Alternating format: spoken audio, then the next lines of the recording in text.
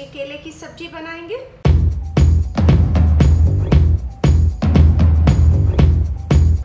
ये खाने में काफ़ी टेस्टी बनती है तो रेसिपी स्टार्ट करते हैं।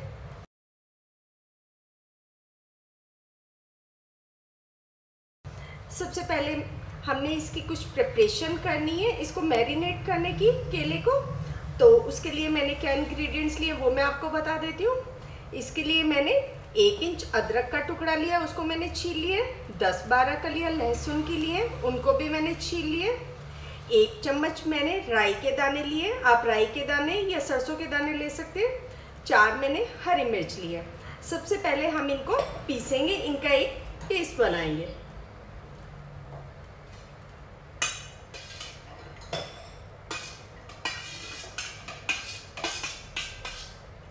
मैं इसके अंदर दो चम्मच पानी डाल दूँगी ताकि ये इजीली पिस जाए।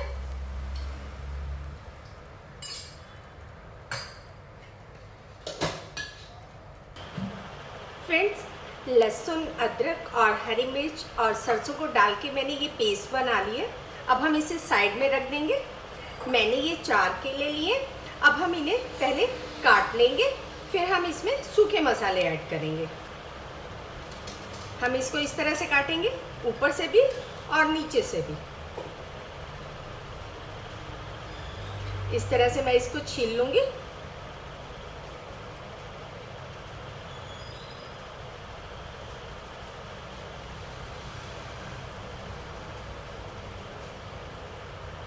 हम इसकी लंबी लंबी स्लाइस काटेंगे।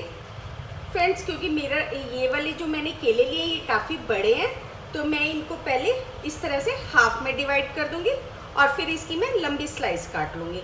अगर आपके पास छोटे केले हैं तो आप उनको सिर्फ़ एक इस तरह से, जैसे सपोज़ इतना ही केला है तो आप इसकी स्लाइसेस कर लेंगे। आप इसको दो में डिवाइड नहीं करेंगे।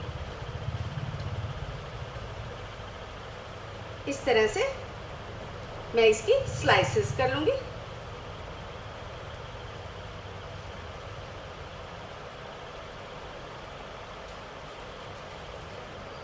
इस तरह से मैं सारे केले काट लूँगी।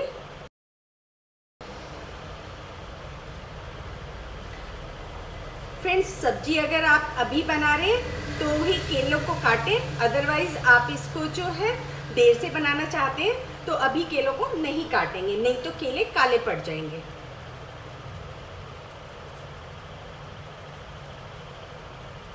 आप इसको निकालकर पानी में भी डाल सकते हैं थोड़ी देर के लिए।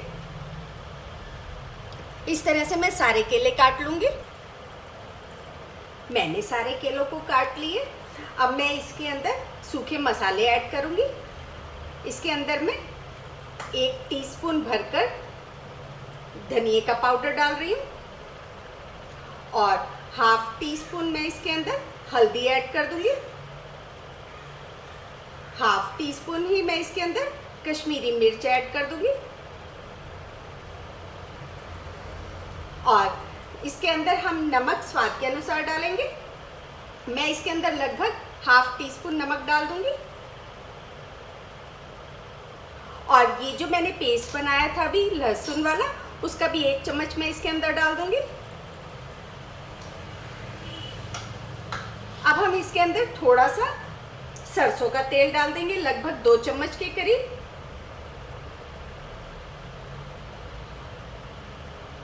अब हम इन सबको अच्छे से मिक्स कर लेंगे ताकि सब मसालों की केले पर कोटिंग हो जाए।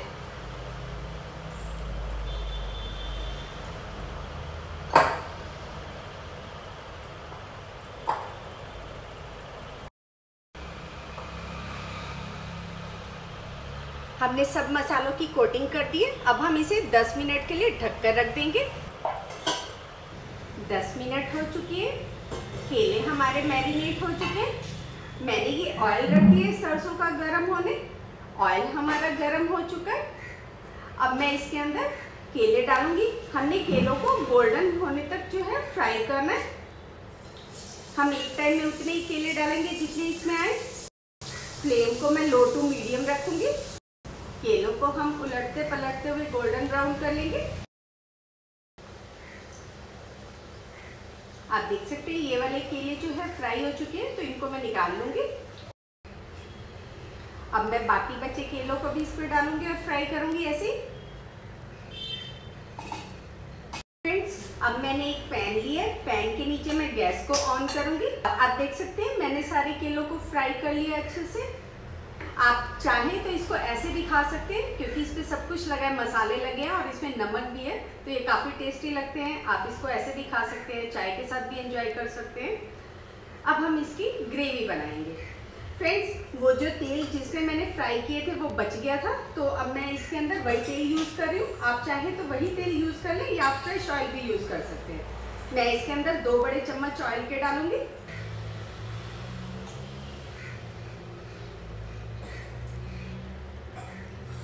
ऑयल को हम गर्म होने देंगे। मैं आपको बता देती हूँ, मैंने इसकी ग्रेवी बनाने के लिए क्या क्या लिया। ये तो वही मसाला है, लहसुन वाला, जिसके अंदर लहसुन, अदरक, हरी मिर्च और सरसों डाली थी हमने, राई के दाने यानी कि। और मैंने तीन प्याज लिए थे, उनको मैंने ग्राइंडर में पीस लिया और मैंने तीन टमाटर लिए थे, उनको भी मैंने पीस लिया अच्छे से। ऑयल हमारा जैसे ही गर्म होगा, हम इसके अंदर प्याज डाल देंगे। ऑयल गर्म हो चुका है। अब मैं इसके अंदर प्याज डाल दूँगी।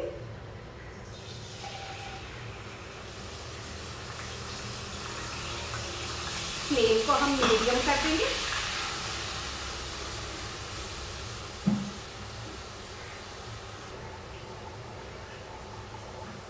हमने प्याज को अच्छे से सोते करना है ताकि इनका कच्चापन निकल जाए प्याज हमारे अच्छे से भुन गए अब मैं ये लहसुन का पेस्ट डाल दूँगी इसके अंदर, बचा हुआ?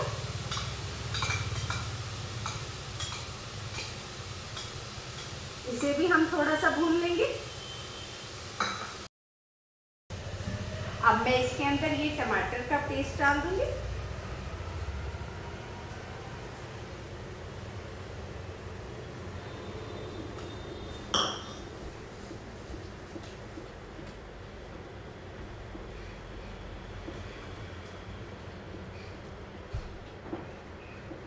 फ्लेम को हम लो टू मीडियम रखेंगे अब।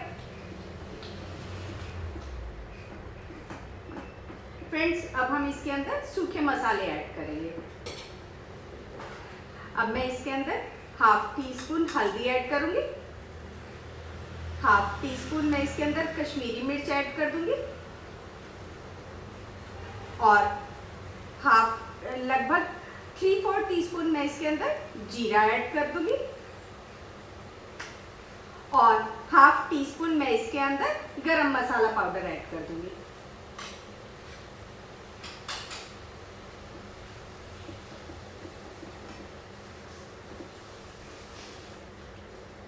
अब हम सबको अच्छे से मिक्स कर लेंगे। फ्रेंड्स इसमें मैं हाफ़ टी स्पून नमक ही ऐड करूँगी, क्योंकि मैंने पहले हाफ़ टी स्पून नमक मैरिनेशन में ऐड किया था, जो कम था। तो हाफ़ टी स्पून मैं इसमें और ऐड करूँगी, क्योंकि ग्रेवी में भी नमक चाहिए हमें। अब हम इसे अच्छे से मिक्स कर लेंगे और फिर हम इसे ढककर लगभग तीन से चार मिनट तक कुक होने देंगे, ताकि इसका जो ऑयल है वो इसमें से सेपरेट हो जाए।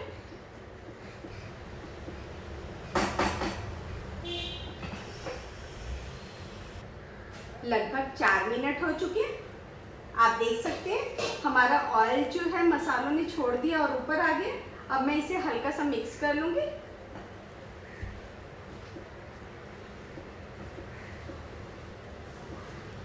और फ्रेंड्स अब हम इसके अंदर दो गिलास के करीब पानी डाल देंगे क्योंकि हम ग्रेवी वाली सब्ज़ी बना रहे हैं।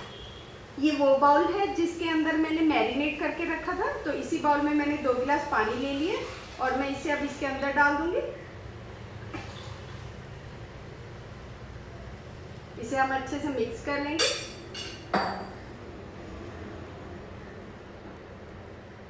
और अब हम ग्रेवी को ढक कर रखेंगे और एक उबाल आने देंगे अच्छा सा। ग्रेवी में उबाल आ गया, आप देख सकते हैं। अब मैं इसके अंदर ये केले ऐड कर दूँगी। अब हम इन्हें अच्छे से मिक्स कर लेंगे एक बार।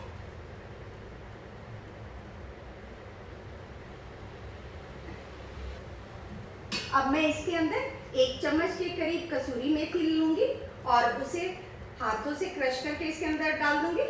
फ्रेंड्स, ये मैंने कसूरी मेथी ली है। इसे मैं हाथों से क्रश करके इसके अंदर डाल दूँगी।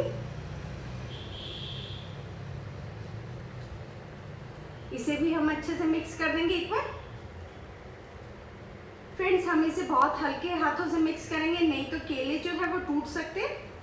अब मैं फ्लेम को लो कर दूँगी बिल्कुल, और हम इसे ढककर लगभग तीन से चार मिनट तक कुक होने देंगे। चार मिनट हो चुके हैं, हम चेक कर लेते हैं। सब्ज़ी हमारी बनकर तैयार है, आप देख सकते हैं ऑयल बिल्कुल सेपरेट होके आया है। ऑयल तभी सेपरेट होता है जब हम अपने मसालों को अच्छे से भूनते हैं। सब्ज़ी हमारी सर्व करने के लिए रेडी है, अब मैं फ्लेम को ऑफ़ कर दूँगी और अब हम इसकी प्लेटिंग करेंगे। सब्ज़ी हमारी बनकर तैयार है, बहुत ही टेस्टी बनी है। आप इसे प्रॉन्ठी के साथ, रोटी के साथ या फिर चावल के साथ भी एंजॉय कर सकते हैं। मैं उम्मीद करती हूँ मेरी ये रेसिपी आपको बहुत अच्छी लगी होगी। अगर मेरी ये वीडियो आपको अच्छी लगे तो इसे लाइक करें शेयर करें और मेरे चैनल को सब्सक्राइब भी ज़रूर करें। Thank you